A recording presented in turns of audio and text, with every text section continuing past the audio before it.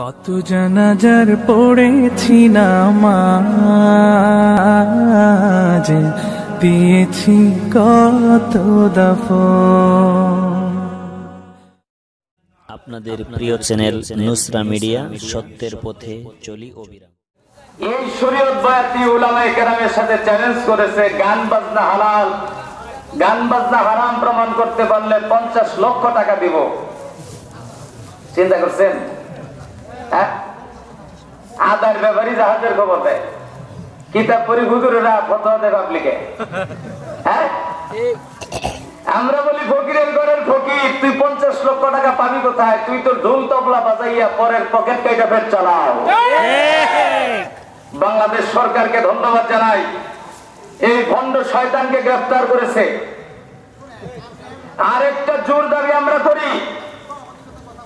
কাদিয়ানিরা বাংলাদেশে খুব মাথাচাড়া দিয়ে উঠেছে। অনেক মুসলিম রাষ্ট্রপ্রধান কাদিয়ানিদেরকে কাফের ঘোষণা করেছে। আমরা বলতে চাই, তোমরা সব করো, সমস্যা নাই, কিন্তু মুসলমানের নাম নিয়ে কিচ্ছু করা যাবে না। যারা বিশ্ব নবীকে শেষ নবী মানে না, আমার নবী আমার হৃদয়ের স্পন্দন, আমার মাথার তাজ, আমাদের গলার মালা, আমাদের হৃদয় সিংহাসনের অধিপতি এই নবীকে যারা শেষ নবী মানে না, এরা নির্দ্বিধায় কাফের। বাংলাদেশের সংসদে এই জালেমদেরকে কাফের ঘোষণা করতেই হবে কে রাজাসের হাত ধরে এক নম্বরের দাবি, কিন্তু আমাদের অত্যন্ত দুর্ভাগ্য, এই বাংলাদেশের পবিত্র সংসদে বসে, যেই সংসদে আঠারো কোটি মানুষের শান্তি এবং নিরাপত্তা নিয়ে আলোচনা হবে। এই পবিত্র সংসদে বসে কয়েকজন ভোট ছাড়া এমপি এরা মেম্বারে পাস করার যোগ্য নয়। এরা শরীয়ত বয়াতির পক্ষে সংসদে বক্তব্য দেয় কাদিয়ানিদের পক্ষে সংসদে বক্তব্য দেয়। বাংলাদেশের ষোলো কোটি মুসলমান এই দাবি মেনে নিতে পারে না কি বলেন আপনারা? সরকার প্রধানের কাছে মুসলমান সমাজের অনুরোধ তিনজন ভণ্ডনপিকে বরখাস্ত করুন। এই দুই টাকার মমতাজ এমপি এমপি হওয়ার যোগ্য নয়। পবিত্র সংসদ ভবনে বসে সংসদকে নাফাক করেছে। সংসদ থেকে একে বের করতে হবে। আর দুইজন জানোয়ার, যারা বাংলাদেশের স্থপতি মরহুম শেখ মুজিবুর রহমান, এর চামড়া দিয়া ডুগডুগি বাজাইতে চাইছে এক সময়। নাস্তিক্যবাদ আন্দোলনের পুরোধা এই বাংলাদেশে। সেই মেনন এবং ইনু হাসানুল হক, ইনু আর রাশেদ খান মেনন। এই হাসানুল হক, ইনু সংসদে দাঁড়িয়ে বক্তব্য দিয়েছে, গান, বাজনা, বাউল গান, এগুলো বাংলাদেশের সংস্কৃতি। এগুলা বন্ধ করার দাবি করা, এটা অন্যায় দাবি। নাউজুবিল্লাহ বল। চিন্তা করছেন, বাসার কি নরম তেলতেলা এরা সব সময় মুসলমানদের বিরোধিতা করে, সব সময় এরা মুসলমানদের বিপক্ষে অবস্থান নেয়।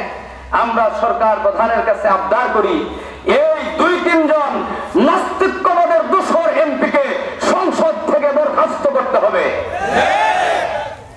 আমরা নামাজ না পড়তে পারি, আমল না করতে পারি কিন্তু ইসলাম নিয়ে, মুসলমান নিয়ে, রাসুলকে নিয়ে কোন ধরনের কটুক্তি, কোন ধরনের বিরূপ মন্তব্য কেউ করবে। জীব ছিঁড়ে ফেলব?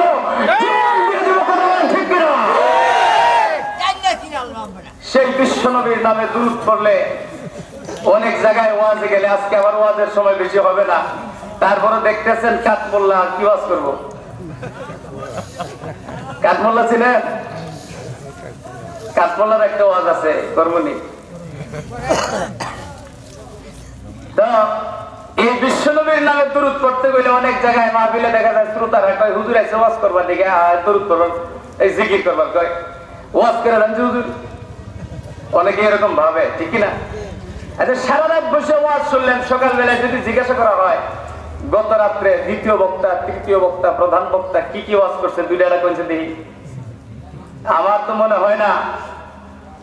যে অর্ধেকের বেশি মানুষ বলতে পারবে কি কর?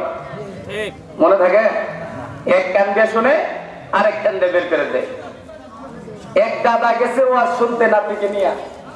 ছয় বছর সাত বছরের এক ছোট্ট নাতি। ও আর শুনতে যাইতে একটা খাল বাড়ি দিতে হয়। তো আর শেষে রাত্রি একটার সময় নাতিকে কাঁধে নিয়ে দাদা ফিরতেছে। খাল পাড়ি দিতে হবে খালে খালের ভিতরে হাঁটু পর্যন্ত পানি হাঁটুর উপরে। নাতিকে কাঠ থেকে নামিয়ে দাদা কাঁচা মারতেছে, মাল কাঁচা। কাঁচা নাতি বলতেছে, দাদা, একটু আগে ওয়াজ শুনলা? হুজুর ওয়াজ করল, হাঁটুর উপরে কাপড় তোলা খরচ তরক হয়। এটা তুমি যে হাঁটুর উপরে কাপড় তুলতেছ?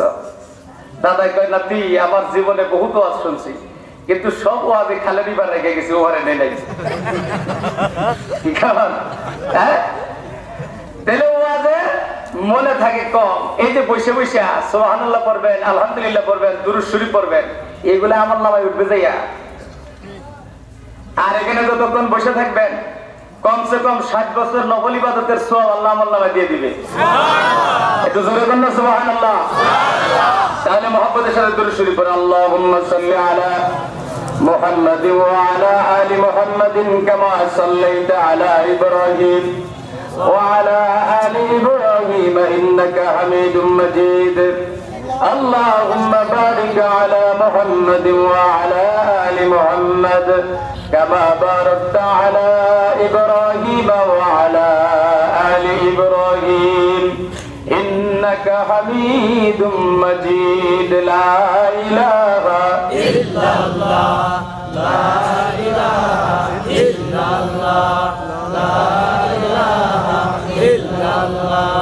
নাই কোন মাবুদ আল্লাহ সারা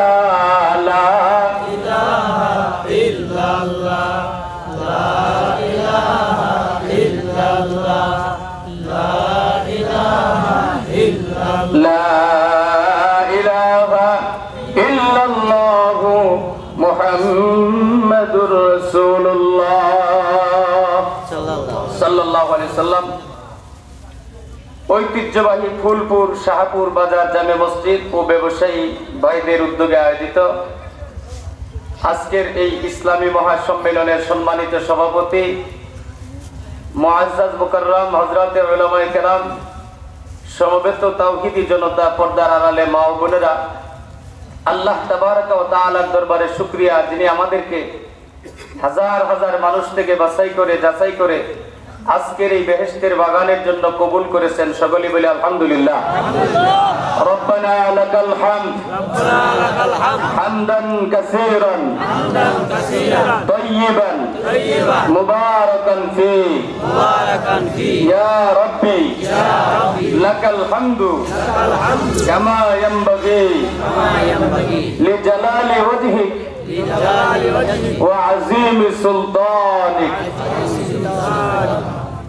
মোহতারাম হাজিরিন, আল্লাহ পাক রব্বুল আলামিন অত্যন্ত সংক্ষিপ্ত হায়াত দিয়ে আমাদেরকে দুনিয়াতে প্রেরণ করেছেন। এই পৃথিবীতে মানুষের আসার সিরিয়াল আছে, কিন্তু যাওয়ার কোনো সিরিয়াল নেই। কথা ঠিক কিনা? প্রথমে আসে দাদা, তারপরে বাবা, তারপরে সন্তান, তার ঘরে নাতি। কিন্তু দেখা যায় অনেক বাবা তার ছেলের লাশ কাঁধে নিয়ে চোখের পানি ফেলে কবরে নিয়ে রাখতে হয়। হয় কিনা? আমাদের সামনে কত মানুষ মারা যায়? আমরা মাঝে মাঝে কত মানুষকে দুনিয়া থেকে বিদায় করে দেই। বালিয়া পিসাব হুজুর দুনিয়া ছেড়ে চলে গেছেন, আমাদের মাথার তাজ ছিলেন। ঠিক কিনা? হুজুর রহমতুল্লাহ আলাই আমাদের মাথার তাজ ছিলেন, দুনিয়া ছেড়ে চলে গেছেন। কয়েকদিন আগে হবিগঞ্জের মহাদ্দিস সাহ হুজুর রহমতুল্লাহ আলাই তাফাজুল হক সাহেব চলে গেলেন। তার কিছুদিন পরেই আল্লামা আশরাফ আলী রহমতুল্লাহ আলাই চলে গেলেন।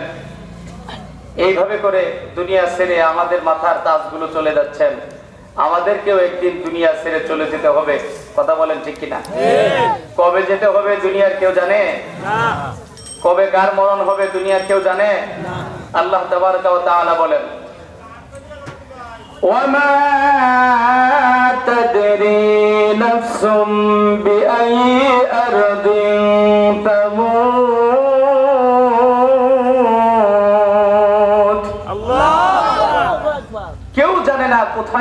মৃত্যু হবে, কবে তার মরণ হবে, পৃথিবী কেউ জানে না।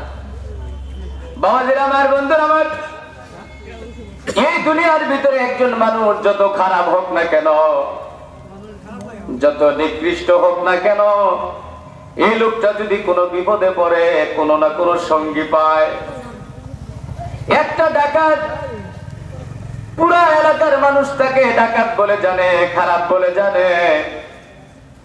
এই লোকটা যদি বিপদে পড়ে, তাকে সাহায্য করার জন্য দশ বারো জন মানুষ দাঁড়িয়ে যাইতে পারে পারে কিনা কিন্তু বন্ধুরা, আমার বুকে হাত দিয়ে বলেন তো দেখি, একজন মানুষ যত ভালো হোক, যত নামি দামি হোক, যত যশ খ্যাতির অধিকারী হোক, এই মানুষটা যখন ইন্তেকাল করে, দুনিয়া ছেড়ে যখন চলে যায় বলেন তো দেখি সঙ্গী হিসেবে কাউকে পাই কিনা? আল্লাহর পয়গম্বর বলেন দুনিয়ার উম্মতের আরে তুমি তোমার দুনিয়ার ধান্দায় পড়ে দুনিয়ার পিছনে পড়ে মহামূল্যবান জীবনটা শেষ করে দিলে। দুনিয়ার আমোদ ফুর্তিতে পড়ে তোমার জিন্দগি বরবাদ করে দিলে। এ উম্মত তুমি জানো না তোমার যখন দুই চক্ষু বন্ধ হইয়া যাবে, আজরাইল এসে যখন জানটা কব্জ করে নিয়ে যাবে, তখন চক্ষু বন্ধ করে দেখবে সব শুধু অন্ধকার অন্ধকার। রাতের বেলা যখন আমরা বিছানায় ঘুমাই, বাতিটা বন্ধ করে দিয়া চোখ খুইলে দেখি চতুর্দিকে শুধু অন্ধকার অন্ধকার। আমার পাশে সন্তান, পাশে স্ত্রী। তারপরেও দেখি অন্ধকার। কিন্তু বন্ধুরা আমার এই রাতের অন্ধকার মাত্র একটা পর্দার অন্ধকার একটা অন্ধকার। একটু চিন্তা করে দেখি কবরের অন্ধকার চার পর্দার অন্ধকার। কয় পর্দা। চার পর্দার অন্ধকার। যখন কোন মানুষকে কবরে নামাইয়া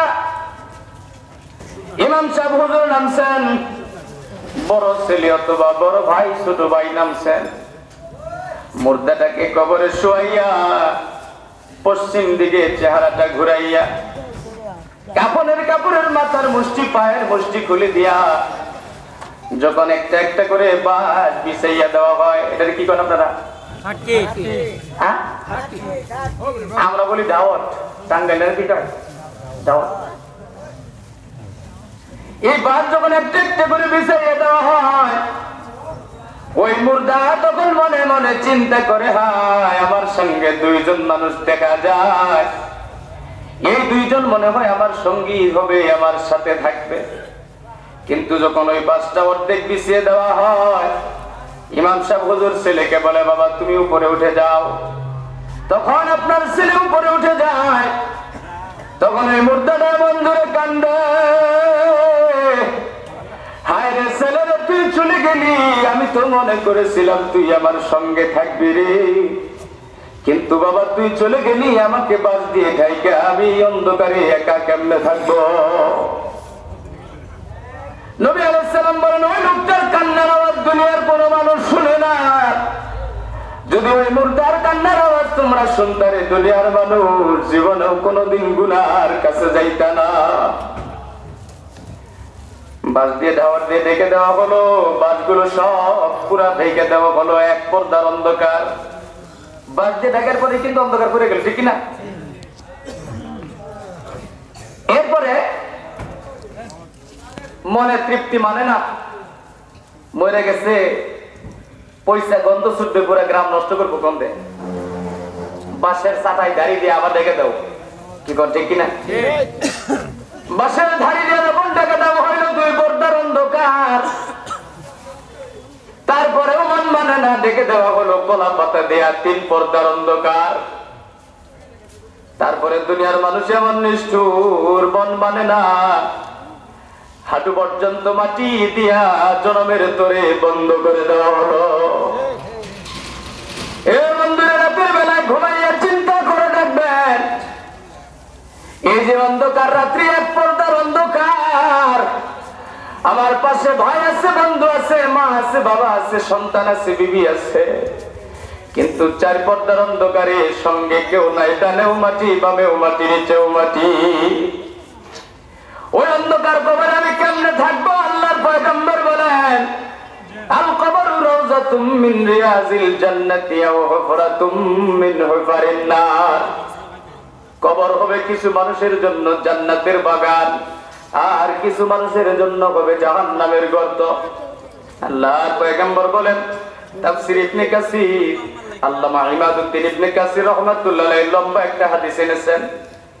এই দুনিয়ার নেককার মানুষ এবং বদকার মানুষের মরণটা কেমন করে হবে? বিশাল বড় লম্বা হাদিস আল্লাহ নবী ফরমান।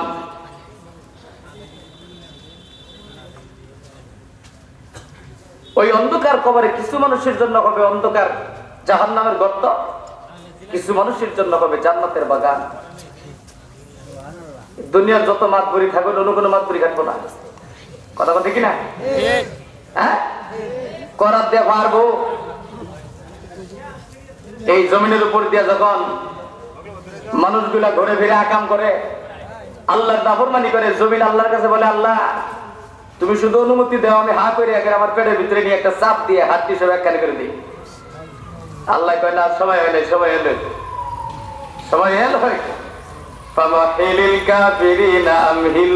রুয়াইদা। এখনই সময় হয় নাই, সময় আছে। তোমার বুকে যখন চলে আসবে চাপ দিবে, এক আর এক ভিতরে ঢুকে যাবে। আমার আল্লাহ বলেন, দুনিয়ার মানুষ কার দেখাও কার জমিনে ঘুরো? কার সঙ্গে নাফরমানি করো রে? তাল পাও না তাল পাও না।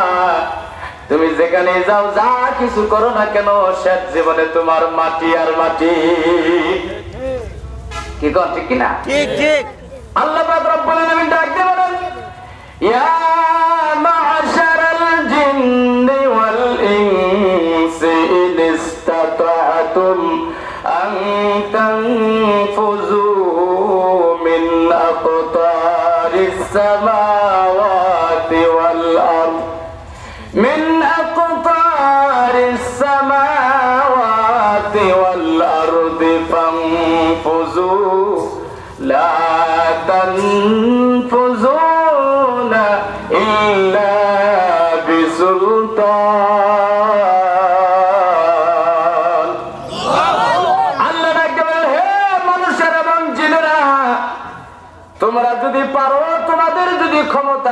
আমার জমিনের এরিয়ার বাইরে গিয়ে আকাম করো। আমার জমিনের বাইরে গিয়ে যত কুকর্ম দরকার করো, নাফরমানি যা করা দরকার, আমার জমিনের এরিয়ার বাইরে চলে যাও। আমার জমিনের এরিয়ার ভিতরে থেকে কোনো নাফরমানি করো না। আমার আল্লাহ দেখতে বলেন, লা তানফুজুনা ইল্লা বিসুলতান। যেখানে যাও পদার্পণ ঘটুক না কেন? তুমি অবস্থান করো না কেন, দেখবে শুধু দেখবে, যেখানেই আছি শুধু আমার আল্লাহ আছে আল্লাহ। সব জায়গায় আল্লাহ রাজত্ব, কোথায় করি? বিশ্বনবী বলেন, প্রত্যেকটা মানুষের মরণ দুইটা অবস্থা। এক নম্বরে বলি বাবাজি আমার নাফরমান, বেঈমান, বেদিন। আল্লাহর দুশ্মন যারা তাদের মরণ কেমন হবে? এই জমিনে এক জাতের মুসলমান আছে। আদম সুমারির খাতায় তাদের নামটা মুসলমান, কিন্তু আসলে জাতে এরা শয়তান। এরা মসজিদ, মাদ্রাসা দেখতে পারে না আমার দেখলে শরীর ভিতরে চুলকায় আছে না নাই? তাহলে অবস্থা কি করে নেই পরে দারুণ দেওবন্দের এক উস্তাদে, আমার মতো স্বাস্থ্যমন্ত্রী। রেলে চুরা দেখেছে এক জায়গায় ভ্রমণে। রেলে চুরা পাশের সিটে পাঁচ সাতজন জেন্টলম্যান বসে জেন্টলম্যান বুঝুন তো, বয়স ষাট দাঁড়িয়ে নাই মোছো নাই সপ্তান সপ্তাহ মতে খারাইয়া। এগুলো তো আমরা জেন্টলম্যান কই, কি কই? হুজুর করে জেন্টলম্যান কেন হুজুর। ওই হুজুর তো সাইডে ফাইলে দোষ। একটু জোরে যদি যায় না হুজুর, কোন দাওয়াত পড়ছে? আবার যে আসতে যায় কোন খাইলেন পেট বাহাই দিয়া। সাইডে ফাইলে বিপদ না, হুজুর কথা কান ঠিক না এই জাতের কিছু মানুষ আছে না নাই? হুজুর দেখলে শোলে মধ্যে খাই যায় আল্লাহ করতে খাইতে দেখে যদি মই সাদা উৎপাদনে ফেলে, অসুবিধা নেই, কিচ্ছু হলো হুজুর গো। কিছু হবে না, জোয়ান কান আরও জোরে কান এই হুজুর সাহেব বলেছে চুপচাপ বয়ে করতেছে। ওরকম জেন্টলম্যান যেগুলা হুজুর দেখলে অ্যালার্জি ওঠে, হেরা চার পাঁচজন মনে মনে এক পরামর্শ করতেছে, কই হুজুরের কেমনে খেবান যায়? করে খেবে কেব কই না, হুজুর দেখছি, একটু খেবাই। পরে চিন্তা ভাবনা করে একজনে বুদ্ধি পাই গেছে কষ্ট না আমি যাই হুজুর একটা কথা শিখাবো দেখবে হুজুর খেয়ে পড়তো। কি কথা? দেখ কি কই তোরা কান পেতে থাক। হুজুরের কাছে যাই কানে কানে পেতেছে হুজুর একটা কথা বলতে চাই। হুজুর হেতালেই না চুপচাপ আবার একটু জোরে করে হুজুর একটা কথা বলতে চাই। হুজুর তাও শুনে না। তৃতীয়বারে রাগ হয়ে গেছে ম্যাডাম। জোরে হুজুর কেন শুনেন না একটা কথা বলতে চাই? তখন হুজুর মনে ঘুমে করতেছে কি কি ভাই কি হয়েছে কি বলে হ্যাঁ আপনার আমি ডাকতেছি। আমি এত ধরে এখানে দাঁড়িয়ে রয়েছি আমার একটা কথা জিজ্ঞাসা করব আমি আপনাকে আর আমার কথা শুনতেই আসছেন না কি ব্যাপার জি ভাই আসলে বলেন আমি অন্য খেলেছিলাম বলেন কবুজার আমি জানবার চাই এই যে আপনার ঘরে যে মানুষের কাঠমোল্লা কয় যে কাঠমোল্লা কারও এটা জানবার চাই চিন্তা করছে তিনি তখন হুজুরে কোন চিন্তা ভাবনা না করে সঙ্গে সঙ্গে জবাব দিতে যে কাঠমোল্লা এটারে কয় এটারে কাঠমোল্লা কয়।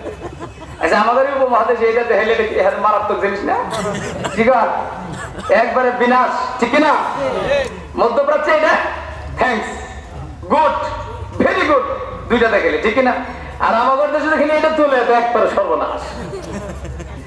এইটা যখন হুজুরে উঠাইছে, এ- এ লোকের তো মেজাজ গরম হয়ে হ্যাঁ? এমনিতে তো মেজাজ গরম হয়ে গেছে এটা থেকে আরও মেজাজ গরম। হ্যাঁ আমি আপনার কাছে একটা জিনিস জানতে চাইলাম, আপনি আমার কি দেখাইলেন? ভাই কি রাগ করেন কেন? হ্যাঁ রাগ করব না। আমি একটা জিনিস জানতে চাই। ভাই বুঝলেন না বুঝলে বুঝাই দেই। রাগ করেন কেন? জি, বুঝাই এটাকে বলে, আল্লাহ তাআলা প্রত্যেকটা মানুষকে পাঁচটা করে আঙ্গুল দিয়েছে এক একটা হাতে, ঠিক না? এই আঙ্গুলগুলোর মধ্যে এটার নাম বৃদ্ধাঙ্গুলি। কথা এটার নাম শাহাদত, তর্জুলি। এটা মধ্যমা, অনামিকা, কনিষ্ঠা, ঠিক না?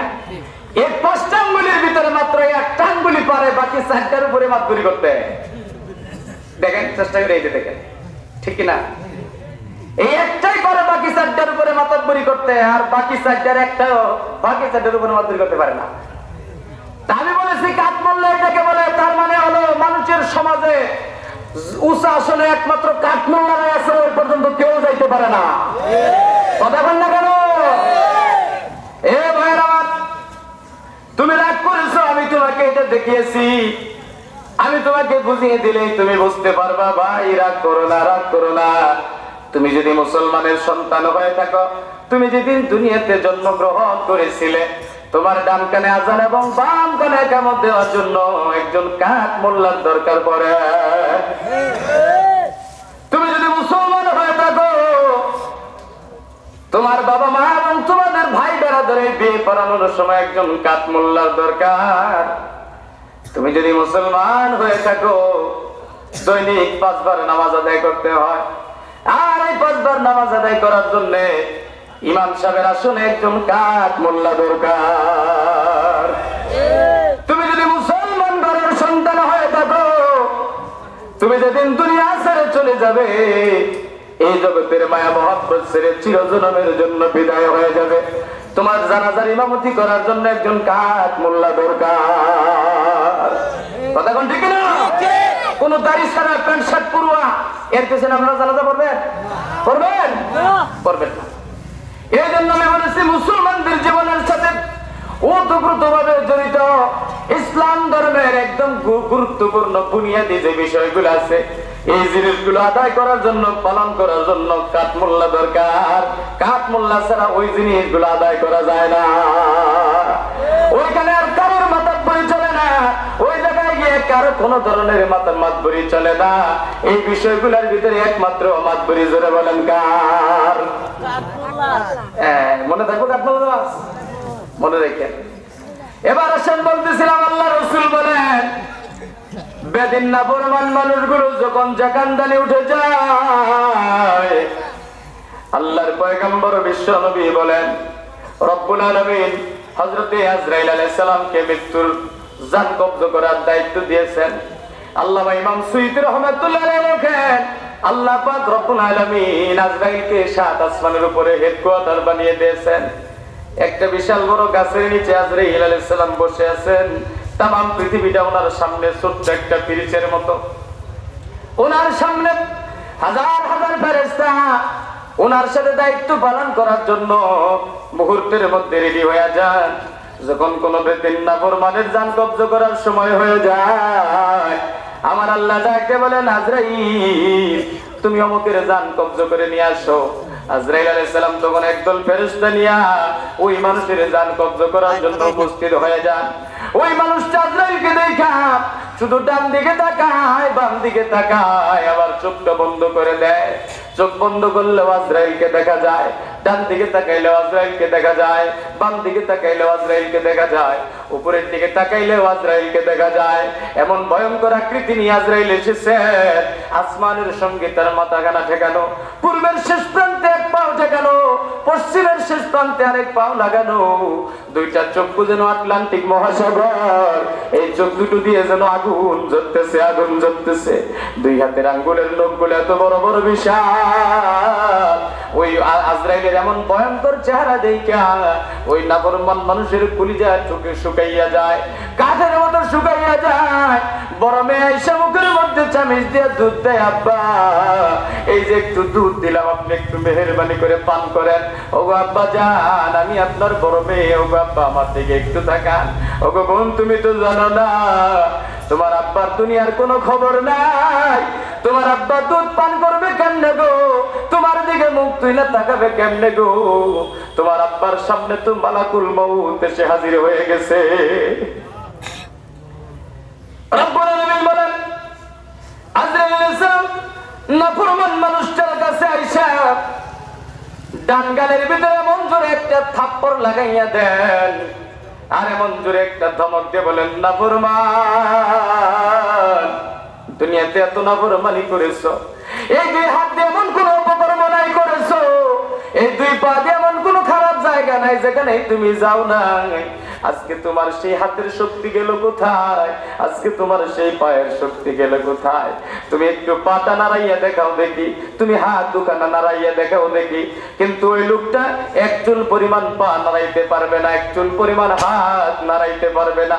আবার বাঙ্গালার একটা জোরে থাপ্পড় লাগাইয়া দিয়ে এমন ভাবে ধমকাইতে থাকবে, মুখের মধ্যে দিলে দুই দুধ যায়। মুখের মধ্যে পানি দিলে দুই পানি যায়।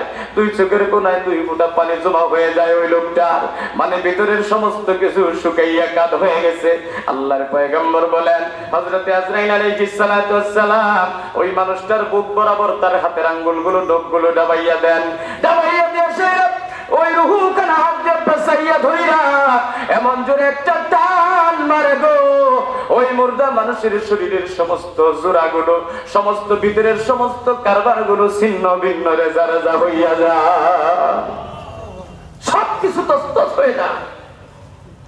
বিশ্বনবী বলেন, ওই লোকটার রুহু কানা যখন বের করা হয়, এমন দুর্গন্ধ বের হয়, দুনিয়ার কোন মানুষ আর জিন ওই দুর্গন্ধ পায় না। কিন্তু মানুষ আর জিন বাদে যত মাকলুকাত আছে, ওই দুর্গন্ধের দুর্গন্ধটা পায়। এমন ভয়ঙ্কর দুর্গন্ধ, পৃথিবীর তামাম দুর্গন্ধ একত্রিত করা হয়, তাহলে ওই নিকৃষ্ট রুহের মতো দুর্গন্ধ আর হতে পারে না। সালাম এক হাত দিয়ে তার হাত দিয়ে রুহুখানা পিছনের দিকে ফেলে দেন। পিছনের এক ফেরেস্তা সেই রুহুটা আবার হাত দিয়ে নেয়। এক হাত দিয়ে নাক ঢাকা, আরেক হাত দিয়ে রুহু ধরছে। উনি তাড়াতাড়ি করে ওনার পিছনের ফেরেস্তার হাতে দিয়ে দেন। এইভাবে যাইতে যাইতে আসমান পর্যন্ত উঠে যায়। আসমানের ভিতরে লক্ষ হাজার হাজার দরজা আছে। প্রত্যেকটা দরজার ভিতরে আমার আল্লাহ একজন, দুইজন করে ফেরেস্তা নিযুক্ত করে রেখেছেন পাহারাদার। ওই ফেরেস্তা গুলা আসমানের তামাম দরজা গুলা বন্ধ করে দেয়া। ওই নিচের ফেরেস্তা যারা রুহু নিয়ে যাইতেছে, তাদেরকে ডাক দিয়ে বলেন, কার এমন দুর্গন্ধ রুহু নিয়ে আসলাম এই দুর্গন্ধ রুহের কারণে আমরা টিকতে পারতেছি না। এই মুহূর্তে এই মুহূর্তে এই রুহুটাকে জমিনে নিয়ে যাও। নিয়ে যাও জমিনে। আল্লাহ বলেন, ইন্নাল্লাযীনা কাফারু লা তুফাত্তাহু লাহুম আবওয়াবুস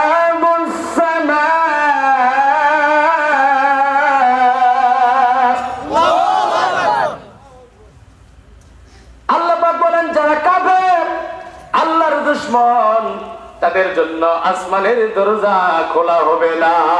আসমানের দরজা খোলা হবে না। সব দরজা বন্ধ। এইদিকে ওই মানুষটা গোসল দেওয়া শেষ, কাপনের কাপড় পরানো শেষ। কবরের কাছে নিয়ে যাওয়া হয়ে গেছে।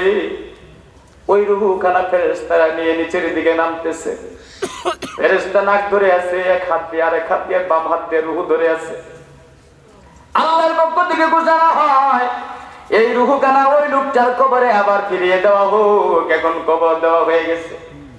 এদিকে মানুষটার কবর দেওয়া শেষ। ছেলে চলে আসলো, মেয়ে চলে আসলো, আত্মীয় স্বজন সকলে চলে আসলো। দুনিয়ার এত সম্পদ, টাকা, পয়সা, কিন্তু কবরে কিছুই সঙ্গে গেল না। আল্লাহর পয়গম্বর ইরশাদ করেন, তোমার সঙ্গে কবর পর্যন্ত যাবে তিনটা জিনিস। তোমার সন্তানাদি আত্মীয় স্বজন যাবে। তোমার সম্পদ টাকা পয়সা যাবে তোমার সঙ্গের আমল যাবে কিন্তু তোমাকে কবরস্থ করার পরে ছেলে মেয়ে আত্মীয় স্বজন সম্পদ সব ফিরে আসবে। তোমার সঙ্গে রইয়া যাবে শুধু তোমার আমল। শুধু আমল থাকবে। এবার সেই লোকটার কবরে ওই রুহু কানা যখন আবার ফিরিয়ে দেওয়া হয় লোকটা জিন্দা হয়ে গেল। মনকার নাকের আসার আগে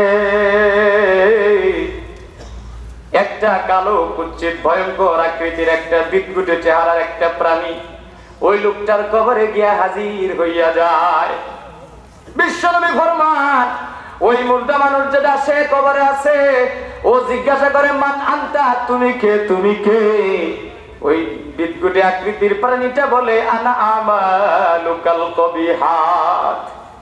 আমি তোর বদামল আমি তোর মদ গাজা আমি তোর দুনিয়ার বেনামাজ আমি তোর দুনিয়ার রমজান মাসে রোজা না খাইছো আমি তোমার সেই বদামল আমি তোমার দুনিয়ার জিনা বেবিচার আমি তোমার দুনিয়ার আল্লাহর সাথে যত নাফরমানি করেছ আমি হলাম সেই। আমি তোমার কবরে এসেছি তোমার দুঃসংবাদ শোনানোর জন্য। এ আল্লাহর নাফরমান বান্দারে অপেক্ষা কর তোর জন্য আল্লাহর আযাব আসতেছে। এই কথা বইলা ওই বিদঘুটে প্রাণীটা চলে যায়। অসুবিধা হইতেছে আপনাদের? খারাপ লাগতেছে? ওই বিদঘুটে প্রাণীটা বিদায় হইয়া গেল। আল্লাহর পক্ষ থেকে দুইজন ফেরেস্তা আসলো। আল্লাহর পয়গম্বর বলেন পায়াতিহি মালাকান। দুইজন ফেরেস্তা আসে পায়ুজিলি সালিহি। ওই লোকটাকে কবরে বসায়। বসাইয়া জিজ্ঞাসা করে পায়া সালালিহি মার রব্বুকা? তোমার রব কে? তোমার? জোরে বলেন তোমার? রব কে? ফায়াকুলু হা হা লা আদরি ওই লোকটা জবাব আমি জানি না জানি না। তোমার দিন কি ছিল দুনিয়ায়? লোকটা জবাব দেয়, আমি জানি না, লা এবার তিনটা আল্লাহর পয়গম্বরের রওজা মুবারকের দিকে ফেরেশতা ইশারা দিয়া, আল্লাহর পয়গম্বরকে দেখা যায় কবর থেকে। ওই রসুলের দিকে ইশারা করে ফেরেশতা বলবে, ওমান জালিকার রাজুলুল্লাযী বৈসা ফিকুম। এরে আল্লাহর বান্দারে ওই যে একটা লোক দেখা যায় এই লোকটারে চিনো নাকি? তোমাদের মধ্যে প্রেরণ করা হইয়াছিল তাকে চিনো নাকি? ওই লোকটা জবাব দিবে হা হা বিশ্বনবীর কবরে যায় চিনতে হইলে বিশ্বনবীর লেবাস ধরন লাগবো কি ঠিক না কথা বলেন ঠিক না দৈনিক প্রতিদিন বিশ্বনবীর সুন্নত পায়ে দইলা কবরে গেলে বিশ্বনবীর চিনন যাব? কথা কয় না কেন? কবরে নামানোর সময়। আমরা কি কই মাটি দেই কবরে রেখে আসি? ইমাম সাহেবের পাবলিক কয় হুজুর দোয়া কই দেন দোয়া কই দেন বুকে হাত দিয়া। আপনাদের এলাকা মানুষ চল নাই নাকি? বুকে হাত দিয়ে কি দোয়া করে? বিসমিল্লাহি ও বিসাবিলিল্লাহি ওয়া আলা মিল্লাতি রাসূলিল্লাহ।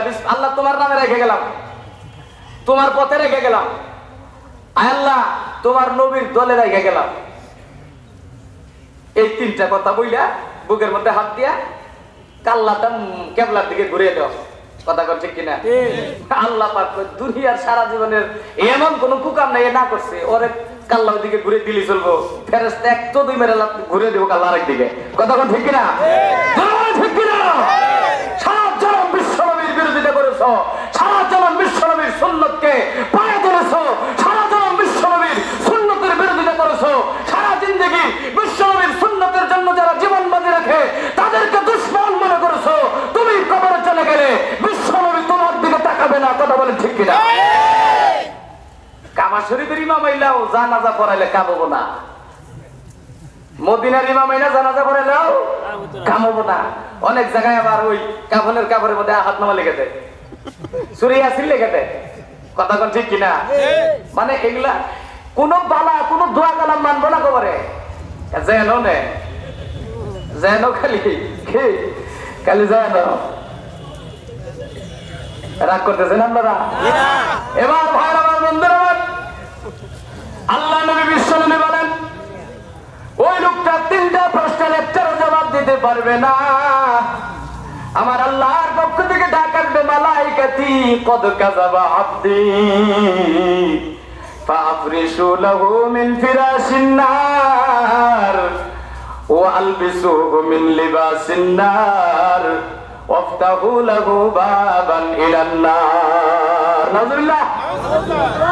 নবী বলেন, ফেরেশতাকে তখন আল্লাহ পাক ডাক বলবেন, ফেরেশতা, আমার এই বান্দা মিথ্যা কথা বলেছে। যে কয়টা জবাব দিয়েছে, লাদ্রি লাদ্রি, সবগুলো মিথ্যা কথা বলেছে। সুতরাং তোমরা আমার এই বান্দার জন্য জাহান নামের এক সেট পোশাক এই লোকটারে পরাইয়া দাও। জাহান নামের একটা ওই বিছানা নিয়ে তার কবরে বিছাইয়া দাও। আর জাহান নাম পর্যন্ত এই লোকটার কবরের একটা সংযোগ করে দাও। তখন আল্লাহর ফেরেশতারা কম্পিউটারের মতো কইরা জান্নাতের নাচ নিয়ামতগুলা ওই বান্দারে দেখাইবে। তখন ওই বান্দা মনে মনে ভাববে, আমার আল্লাহ মনে আমার জন্য জান্নাতের ব্যবস্থা রাখছে। ফেরেশতারা বলবে না কপাল পোড়া। তোর জন্য এই জান্নাত না। তুই যদি তিনটা প্রশ্নের জবাব দিতে পারতি রে এই জান্নাত হইতো তোমার ঠিকানা। কিন্তু তুমি জবাব দিতে পারো নাই। অপেক্ষা কর অপেক্ষা কর আসতেছে আল্লাহর আজাব যে আজাব থেকে দুনিয়ার কোনো মানুষ তোমাকে হেফাজত করতে পারবে না। কথা বলেন ঠিক কিনা? বাবাদের আমার বন্ধুরা আমার এইগুলো না মানুষের মৃত্যুর অবস্থা। অপরদিকে যারা আল্লাহর প্রিয় বান্দা যাদের হৃদয়টা শুধু আল্লাহ রব্বুল আলামিনের মহব্বতে যাদের হৃদয়টা বিগলিত কথা কোন? ঠিক। কিনা জবান দিয়ে শুধু আল্লাহর মহব্বতের খুশবু বের হয়। কলিজার ভিতরে শুধু আল্লাহর মহব্বতের আসন ওই মানুষগুলার মরণটা এমন অবস্থায় হবে বন্ধুরা আমার। কেমনে হবে কেমনে হবে? আমার আল্লাহ ডাকতে বলেন কুনু ইবাদাল্লাহি ইখওয়ানা। হে আমার বান্দারা তোমরা আল্লাহর বান্দা হইয়া যাও। কুনু রব্বানিয়িন তোমরা সকলে আল্লাহ ওয়ালা হইয়া যাও। কি ওয়ালা হয়ে যাও? জোরে বলেন কি ওয়ালা হয়ে যাও?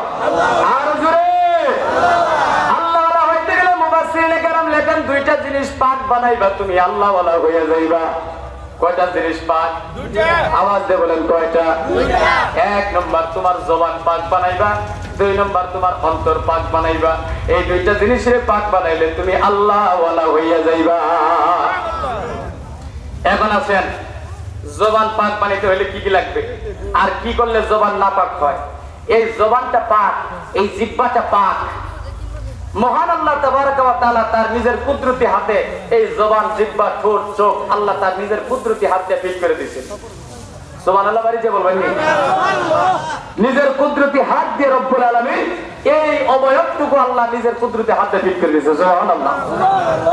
আর মায়ের গর্ভের এই জবানটা মারা আল্লাহ পাক রাখছেন।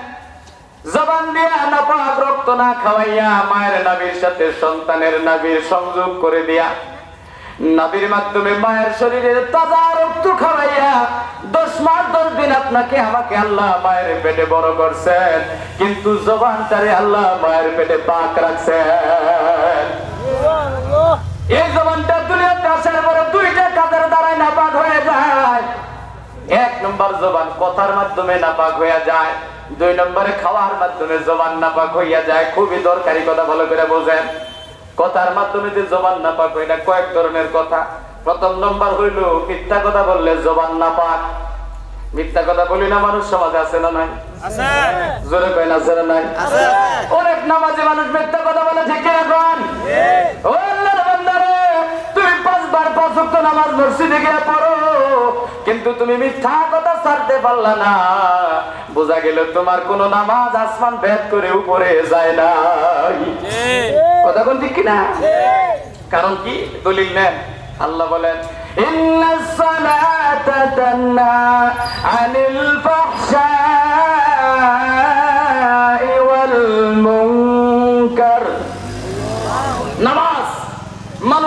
অশ্লীল গুণা অপছন্দনীয় খারাপ কাজ থেকে ফিরাইয়া রাখে ফিরাইয়া রাখে ফিরাইয়া রাখে।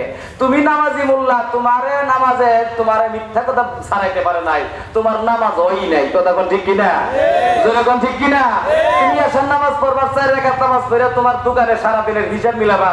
এক মুসল্লি যায় নামাজ পড়তেছে, ইমাম সাহেব একটু খাটো কেরাত দিয়ে নামাজ পড়ছে, তাড়াতাড়ি করে সালাম ফিরেছে মুসল্লি একটা পিছন দিকে দাঁড়ায় কয়, হুজুর, আপনার নামাজ মনে এক রাখাত বাদ করল কে কে বাদ করল কয়, শোনেন হুজুর, আমি প্রতিদিন দেখা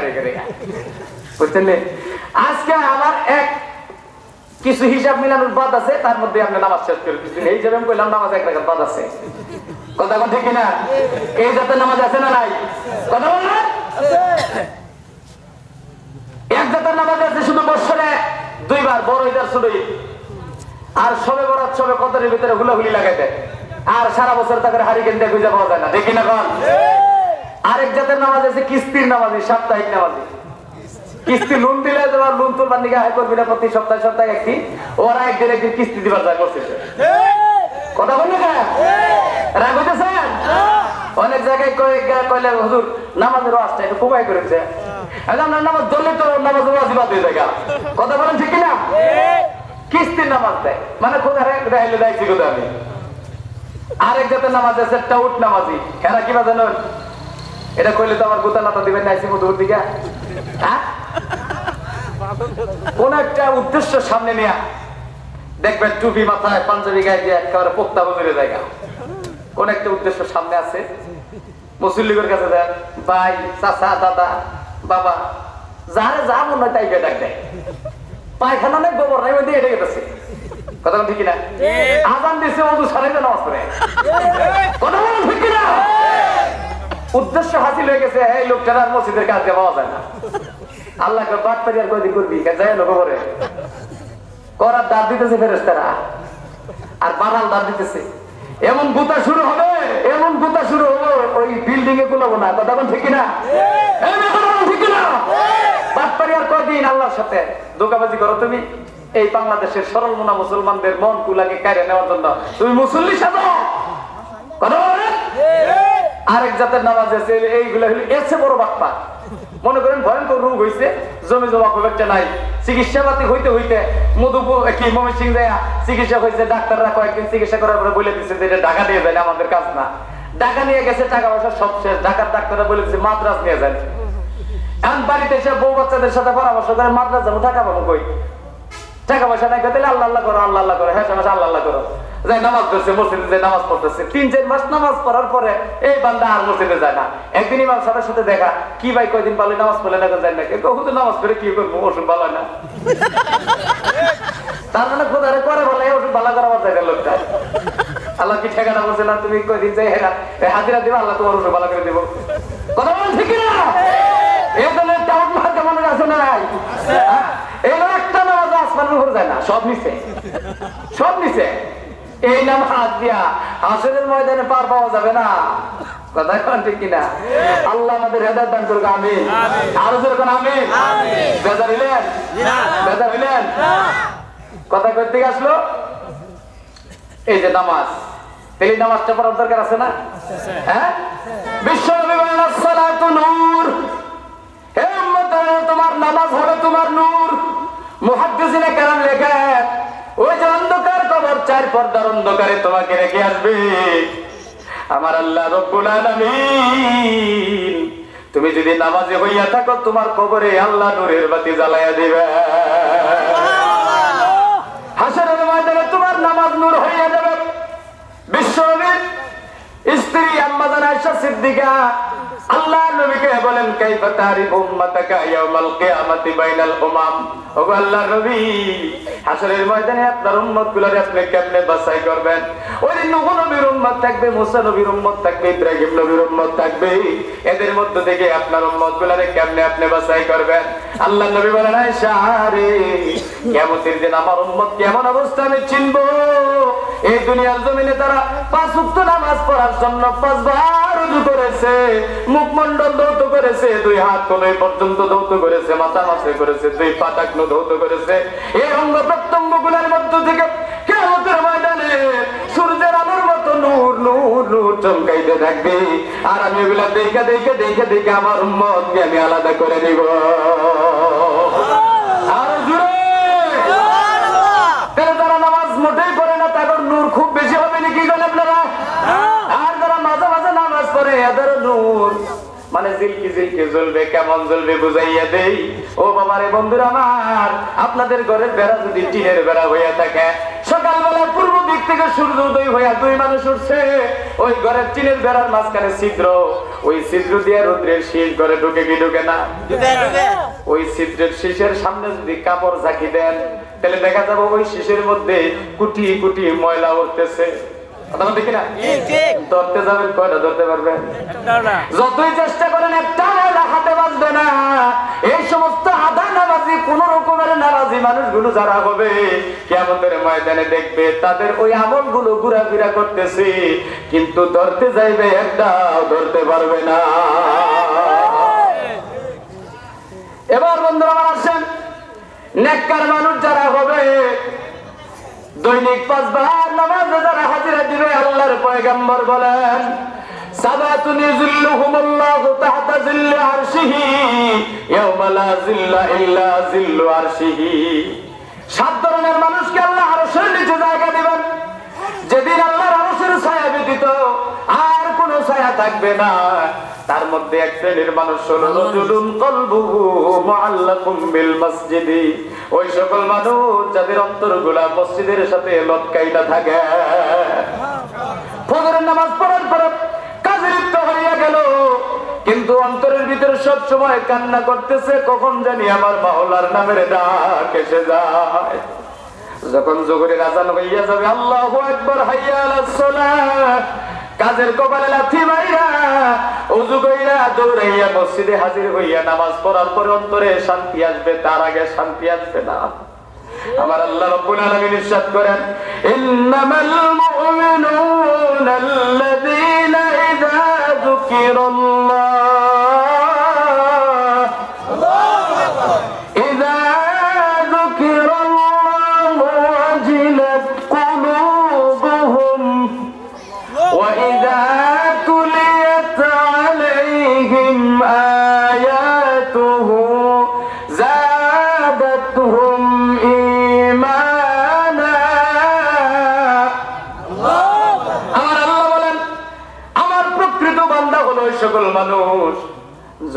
আল্লাহর নামটা উচ্চারিত হবে। মসজিদের মিনারা থেকে আল্লাহর নামে আজান বেশি আসবে। জিকিরের মজলিস থেকে আল্লাহর বান্দারা যখন আল্লাহ বলে জিকির দিবে, এই জিকিরের আওয়াজ যখন ইমানদার মুসলমানের কানে ঢুকবে, ওয়াজিলাত ইমাম করেন কুলুবুহুম। তাদের অন্তরগুলো টকবক করতে থাকবে, ছটফট করতে থাকবে। পাগল পারা হইয়া সেই মজলিসে তারা হাজির হইয়া যাবে। আর আমাদের অবস্থা হইলে এমন মসজিদে আজান হয় মসজিদের পাশে চায়ের দোকানে বসে আল্লাহর বান্দারা চা খায়। মুয়াজ্জিনকে দেখে আজান দেওয়ার জন্য আসতেছে। চায়ের কাপটা অর্ধেক রাখে আসতে করে কাইটা যায়। যদি আবার কেউ আয়া করে নামাজ পড়িয়ে দেয় কথা বলে না? আমার যদি পাইল মধ্যে কোন একজন যদি পায় হুজুরে চলেন ভাই নামাজ পড়ে আসি গা কয় হুজুর যাই আসে দেখ হুজুর যাই। আমি তো হুজুর যাব ওই হুজুর কান্ত নামাজ আমরা তো কই? হুজুর দৌড় মসজিদ তুলি আমি তো যাব না আপনিও যাই। আসে দিয়ে করে যাই। আরে বিপদে বললাম যাবোই তো চলেন আপনিও যাই। আপনার কি নামাজ পড়া যায় নাই? হুজুর, তা তো বুঝি আমার কাপড় ঠিক নাই। কথা কয় না? ঠিক নাই? পকেটের ভিতরে দামি মানি খেয়ে দেওয়া যায়। পকেটের ভিতরে কলম রেখে দেওয়া যায়। পকেটের ভিতরে সিরিনে রেখে দেওয়া যায়। কয়েক রাখন যায় না? কথা বুঝে না? কথা কোন ঠিক না পেশাব কইরা ঢিলা কুলুপ নেয় না এমন মানুষ বেশি না নেয় এমন মানুষ বেশি। কথা হিসাব করে পেয়ে পেশাব করে ঢিলা নেয় না পানি নেয় না এমন মানুষ বেশি না তো। আল্লাহ রাসূল বলেন ইস্তানজিহু মিনাল বাউল ফাইন্না আম্মাত আযাবিল কবর মিনহু। হে আমার উম্মতেরা রে পেশাবের সিটা থেকে বেঁচে থাকো। কারণ কবরে যত আযাব হবে ভয়ঙ্কর আযাব হবে পেশাব লাগার কারণে। আল্লাহ রাসূল সাল্লাল্লাহু আলাইহি সাল্লাম একবার সাহাবায়ে কেরামকে নিয়ে যাইতেছিলেন। হঠাৎ করে নবী আমার দাঁড়িয়ে গেলেন। দুইটা কবরের পাশাপাশি দুইটা কবর। আল্লাহ নবী দাঁড়ায় বললেন, ইন্না সাহিবাহুমা লা ইউআযাবান ও সাহাবীরা রে, এই দুই কবরে আল্লাহ আযাব দিতেছেন, আযাব হচ্ছে। ওমা ইয়াযযাবানে ফি কাবীর। বড় কোনো কারণে আযাব হচ্ছে যে তা নয়। খুবই সামান্য, অল্প গুনাহ মনে করে মানুষ। এমন সামান্য বিষয়ের কারণে তাদের কবরে আযাব হচ্ছে। আম্মা আহাদুহুমা ফাকানা ইয়ামশি বিন নামিমা ওয়া আম্মাল আখারু ফাকানা লা ইয়াস্তানজিহু মিনাল বাউল রাসূল বলেন, এই দুই কবরের একজন ছিল দুনিয়ার ভিতরে কলম লাগাইতো। কি লাগাইতো?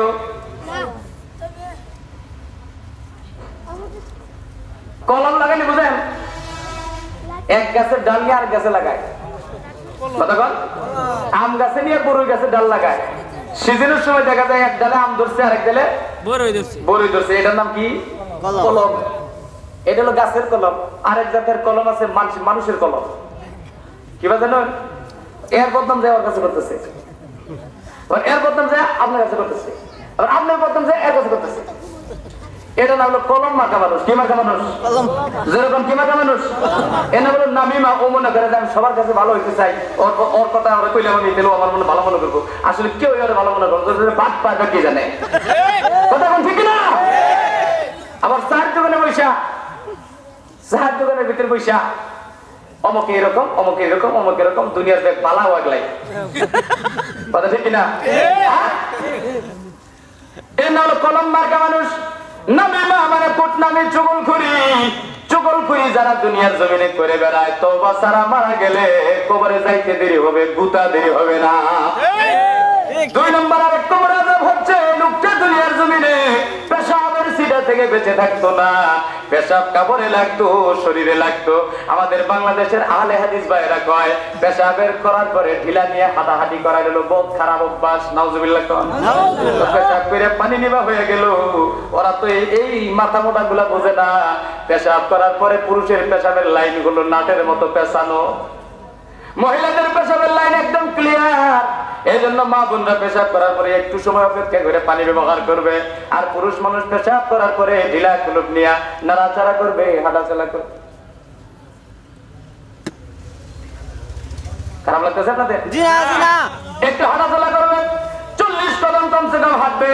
তাহলে তোমার পেশাব করার পরে এক দুই ফুটা যে পেশাব তোমার রয়ে গিয়েছিল নড়াচড়া করার কারণে ওই পেশাব টুকু একবারে সামনে চলে আসবে তুমি পরিপূর্ণ ইস্তেবরা হইয়া যাইবা। আরে এই মাথা মোটা গুলা কয় কি? পেশাব করার পরে ঢিলা গুলো নেওয়ার এই হাদিস কোনো পাইছে? সব ওই হাদিস জাল ওরা জাল ওরা জাল। মানে ব্যাগ খালি তাহলে হাদিস ওরাই বুঝে আমরা সব জাল হাদিস বুঝি। কথা বলছি কিনা? হ্যাঁ? বাংলা বোখারি শরীফ পড়ে ফতোয়া দেয়। হ্যাঁ? আরেক জাতের ফতোয়া পাস বাইরে সেটা মহিলারা বলে মুখ খুলে বাইরে, রাস্তায় যেতে পারে। এই ফতোয়া আপনার নেই? এই উপমহাদেশে তিনশো বছর, চারশো বছর ধরে এই কমি মাদেশের মনোবিগুলা ভিতরে বইয়ে বয়ে পড়ছে, মাটির ভিতরে বইয়া পড়ছে। কোরআন অর্জন করে এই পুরো উপমহাদেশটাকে একটা অবকাঠামোর ভিতরে দাঁড় করিয়ে দেওয়ার প্রচেষ্টায় তারা জীবন বেড়ে দিয়েছে নিজের টাকা পয়সা খরচ করেছে। একটা ফতোয়া দিয়া এই জনগণের মাঝে বিভ্রান্তি ছড়াই দইলে বক্তব্য বক্তা বাংলাদেশে আছে না নাই? না? তুমি কোন কিতাবে পাইছো মুখ খোলা রেখে মহিলারা বাড়ি যেতে পারবে তোমার বিবিরে নিয়ে যাও তুমি মার্কেটে মুখ খুইলা? ভণ্ডামের শেষ নাই। এই ভণ্ডামে বাংলাদেশের মুসলমান মানবে না। কথা বললে কেন? ফতোয়া দেয় মুখ খোলা রেখে পারবে। নাউজুবিল্লাহ মিন জালিক নাউজুবিল্লাহ ওই আহলে হাদিসের দালাল এগুলা ঠিক করে বলেন? জপ্তি মাদ্রাসারে দেখ ইনশাল্লাহ এই কৌমি মাদ্রাসার হুজুরদের উপর দিয়া আজ পর্যন্ত কেউ যাইতে পারে নাই। যাইতে পারবে না পারবে না ঠিক করে বলে এই মহাদেশের স্বাধীনতার পিছনে ওলামাই কারামের অবদান দেববন্ধের ওলামাই কারাম। তখন তো আমাদের পত্তাও ছিল না। দিল্লির শাহী জামে মসজিদের সামনে থেকে শাহী রোড। দুই রুটের রোডের দুই পাশে পঞ্চান্ন হাজার পাঁচশত ইউক্যালিপটাস গাছ ম্যালেরিয়া গাছ। ব্রিটিশ সরকার প্রত্যেকটা গাছে একজন করে আলেমের লাভ ঝুলিয়ে রেখেছিল। পঞ্চান্ন হাজার পাঁচশো আলেমের লাভ ঝুলিয়ে রেখেছিল। সবগুলো ছিল কমি মাদ্রাসার পড়ু আলেম। তোমাদের মতো সুসামৌলবী ছিল না কেউ। কথা বলে ঠিক কিনা? সাবধান করতে চাই। এই বাংলাদেশে কোরআন হাদিসের বিরুদ্ধে কোন চলবে না। ওয়াজ হবে কোরআন দিয়ে হাদিস দিয়ে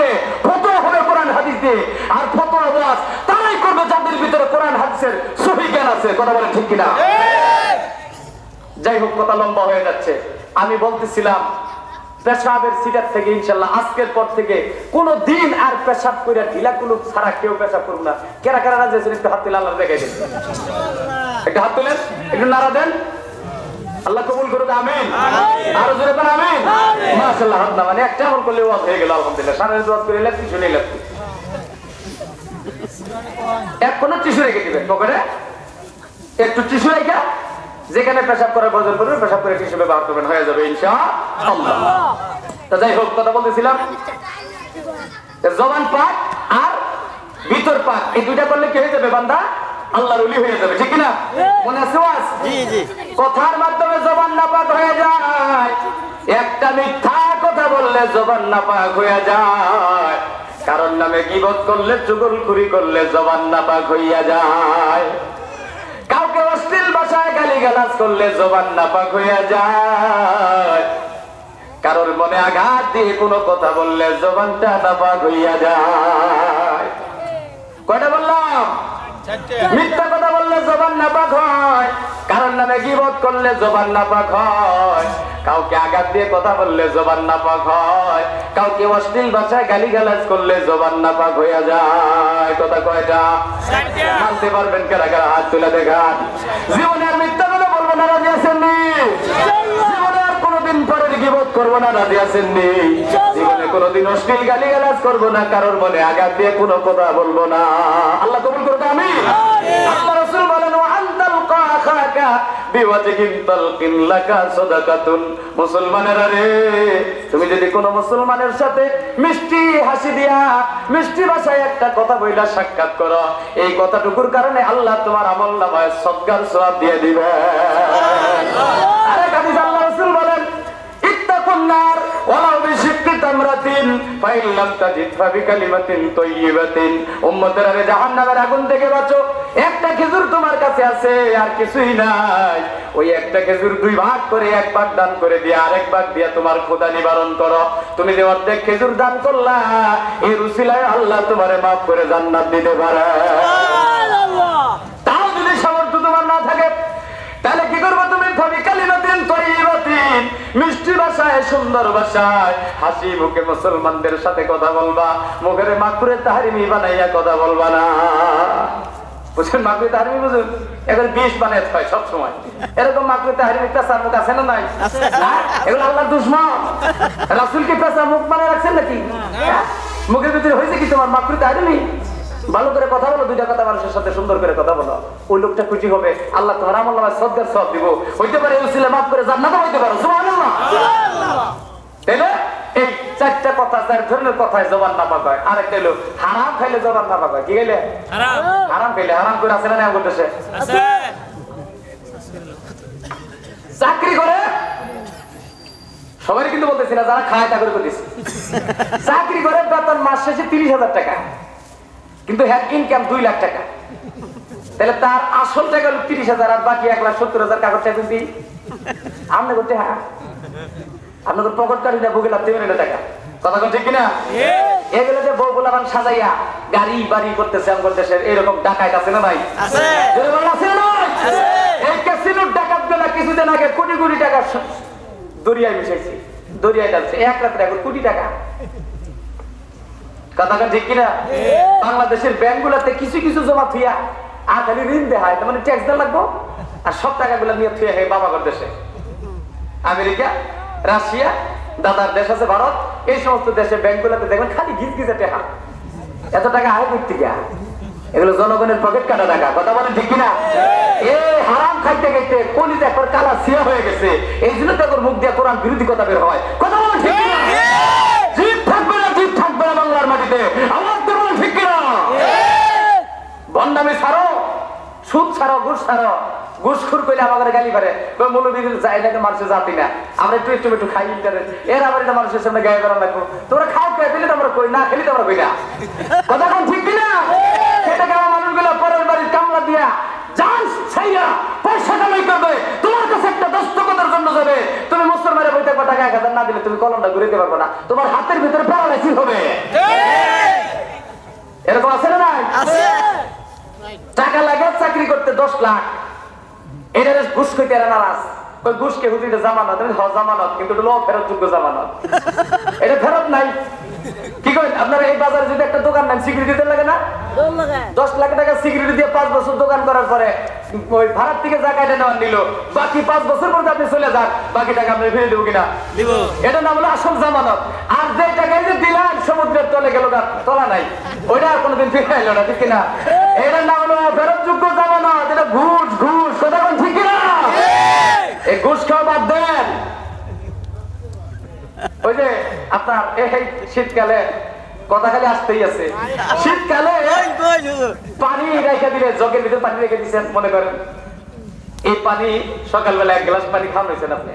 এই পানি যে দিক দিয়ে যাবে খবর এলো না এনে দেওয়ার পরে এর দিকে শুরু হব একশন যে পর্যন্ত যাবে ওই পর্যন্ত কি? একদম ক্লিয়ার খবর হয়ে গেছে ডাইরেকশন এরকম হারাম যা কিছু খায় মানুষে। এখান দিয়ে শুরু হয় নাবাক বানানি। একবার যাইতে যাইতে যাইতে তো ওটা হুদ্দা নাবাক এবারে জায়গা। ঠিক কিনা? আমার তখন ঠিক কিনা? এই হারাম খাইয়া মক্কায় যায় হজ করবা কামাও না। পাঁচশো বার হজ করলে তোমার হজ হবে না। ইমাম আজম আবু হানিফা রহমাতুল্লাহ আলাইহি সাতান্ন বার হজ করছেন উলামায়ে কেরাম আছেন জিজ্ঞাসা করে নেবেন। সাতান্ন বার। কয়বার? সাতান্ন বার। হজ করেছেন। ওই যুগে এরোপ্লেন ছিল না রেল গাড়ি ছিল না। উনি কি করেছেন? ঘোড়ায় চড়ে গাদায় চড়ে উঠে চড়ে, হজ করেছেন। উনি যে গাদায় চড়ে, হজে গিয়েছেন তোয়াপ করেছেন গাদাটা ওনার সঙ্গে থাকতো। মুজদালেফায় গিয়েছেন গাদাটা ওনার সঙ্গে আছে। আরাফার ময়দানে গিয়েছেন গাদাটার সঙ্গে আছে। মিনার ময়দানে গিয়েছেন গাদাটাও সঙ্গে আছে। মদিনায় গিয়ে রোজা জিয়ারত করেছেন, উনার গাদাটা ওনার সঙ্গে আছে। ইমাম আবু হানিফা রহমাতুল্লাহ আলহাজ বলা যাবে কিনা কম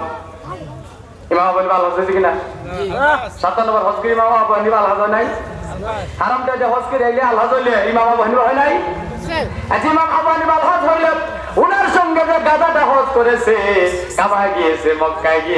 আচ্ছা গিয়েছে রওজা শরীফের গিয়েছে, ওইটারও মনে হয় আলহাজ গাদা সাহেব বলা যাবে। কথা গাদা যেমন হজে গেলে হাজি হয় না, কোন ঘুসকুর বুড়ি মোটা হজে গেলে হজ হয় না। আল্লাহ পাক রব্বুল আলামিন আমাদের বুঝবার তৌফিক দান করে সবাই মিলে আমিন। তাহলে হারাম খাইলে জবান না পাক হারাম খাওয়া বাদ দিতে হবে আর যে কথাগুলো বললাম ওইগুলো বাদ দিতে হবে। তাহলে জবান পাক হয়ে যাবে ইনশাআল্লাহ। যাই হোক এবার অন্তর পাক আসেন। দুই মিনিট কষ্ট হইতেছে?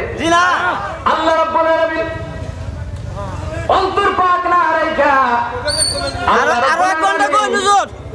আরও এক ঘণ্টা চলবো। মহান আল্লাহ রাব্বুল আলামিন। এই অন্তরটা পাক রাখবার জন্য বলেছেন। রব্বুল আলামিন কোরআনুল কারীমের ভিতরে ইরশাদ করেন। বিসমিল্লাহির রহমানির রহিম।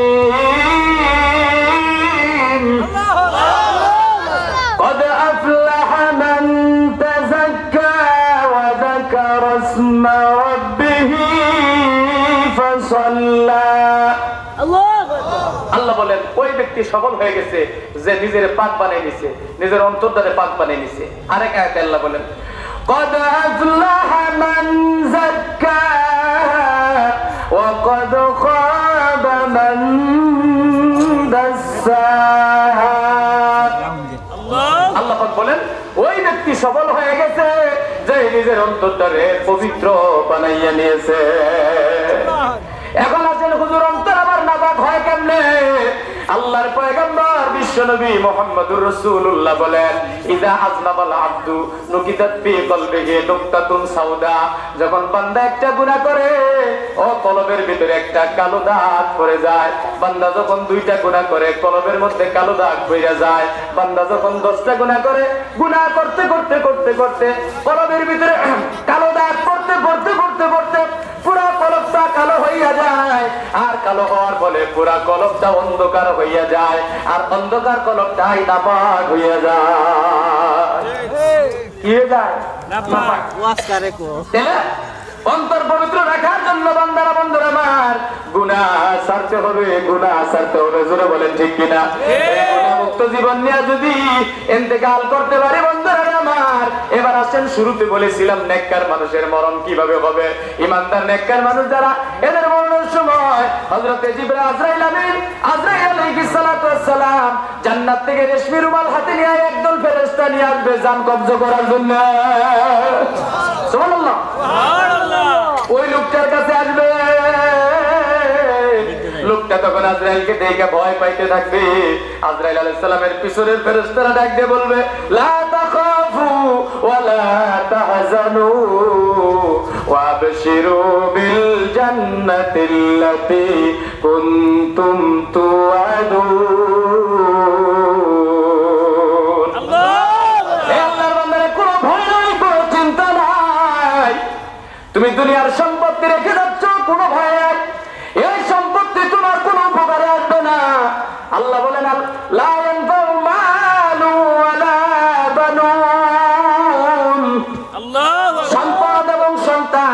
পয়সার উপকারে আসবে না। তোমার উপকার তোমার নেক আমল রে বান্দা, কোনো ভয় নাই, কোনো ভয় নাই। আমার পয়গাম্বর বয়ান করেন, সন্তান কোলে নিয়ে মা জননী দুধ দেয়। ছয় মাসের শিশু বাচ্চাকে মা দুধ দুধ খাওয়াইতেছে। দুধ খাইতে খাইতে সন্তান মায়ের কোলে ঘুমাইয়া গেছে। মা জননী আস্তে করে নিয়ে সন্তানটারে বিছানায় শোয়াইয়া দেয়। শোয়ানোর পরে দুধের বোটাটা মা সন্তানের মুখ থেকে আলাদা করে দেয়। সন্তানের ঘুম ভাঙ্গে না, সন্তান জানতেও পারে না। বাবাজির আল্লাহর নবী বয়ান করেন, নেককার মানুষের কাছে যখন আজরাইল আলাইহিস সালাম আগমন করার পরে মাথার কাছে বসে নাকের কাছে ডান হাতটা বাড়াইয়া দিয়া ডাক দিয়ে বলবেন, ইয়া আইয়াতুহান নাফসুত তাইয়্যিবাতু উখরুজি বিইজনিল্লাহ হে হে পবিত্র আত্মারে তুমি আল্লাহর হুকুম মতে বের হইয়া আস। এই কথা বলার পরে ওই নেককার মানুষের রুহু এমন আস্তে করে আজরাইল আলাইহিস সালামের হাতের ভিতরে চলে আসবে। মা জননীর সন্তানের মুখ থেকে দুধের মুঠা ছড়াইলেও সন্তান যেমন টের পায় না নেককার মানুষের রুহু নিঃশ্বাসের সাথে বের হইয়া যাবে কিন্তু ওই মানুষটি একটু টের পাবে না। এরকম নেককারের মরণ আমরা চাই কিনা? আছে রুহু বের করার পরে কি ঘটনা ঘটবে? একটু আলোচনা আছে বাজান তার আগে আমি আপনাদের কাছে ছোট্ট একটা রিকোয়েস্ট করতে চাই। আমরা তো সকলেই চাই এমন নেককারের মরণ আল্লাহ আমাদের দেখ চাই কি চাই না? আমার আল্লাহ বলেন লান তানালুল বিররা হাত্তা তুনফিকু মিম্মা তুহিব্বুন। নেককার হইতে পারবে না ততক্ষণ পর্যন্ত। পাক্কা নেককার যতক্ষণ পর্যন্ত তোমাদের মহব্বতের সম্পদ থেকে কিছু কিছু আল্লাহ রাতে খরচ না করবা। হাত্তা তুনফিকু মিম্মা হেল্প আল্লাহ সবটুকু কথা বলেন নাই কিছু। এই জন্য আমার